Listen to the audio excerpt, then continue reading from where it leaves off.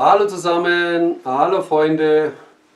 Heute mache ich mal wieder ein großes Bild, das ist 80 cm auf 40 cm. Ich habe verschiedene Farben angemischt, von Silber, Bronze, Weiß, Kaminrot, Reflexionspink, äh, Padaloblau, Gelbgrün, Indiengelb und Schwarz. So, jetzt haben wir es.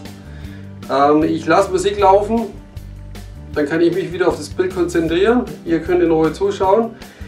Wenn ihr am Anfang Zellen seht, das sind wirklich die Luftbläschen, was ich dann verteilen. Also ich habe kein Silikon rein am Anfang. Erst danach mit dem Stäbchen wieder was reingemacht. Ich zeige euch jetzt aber auch noch geschwind die fertigen Bilder mal wieder. Das ist das kleine, wo ich ja mit euch zusammen gemacht habe. Also ist gut getrocknet, gut verlaufen. Und möchte ich euch auch nicht schuldig bleiben. Das große, also ich finde es richtig cool geworden. Der Rahmen ist nicht ganz fest gewesen. Also das heißt praktisch nicht gut bespannt gewesen, aber durch die Farbe ist jetzt fest geworden, aber dadurch ist natürlich das Bild noch etwas nachgelaufen in manchen Stellen. Aber ich finde es richtig cool geworden. Die Harzbilder, die zeige ich euch dann, wenn man ich wieder ein Harzbild mache, die getrockneten Bilder. Okay, also wie gesagt, kein Silikon rein, allein durch diese Luftbläschen, was leider Gottes immer wieder kommen, wenn man es frisch anrührt, also bei mir zumindest, äh, bilden dann die Zellen und danach habe ich erst reingetupft. Silikon 500, muss ich auch dazu sagen, von der Viskosität her. Also dann lasst uns starten, bis gleich.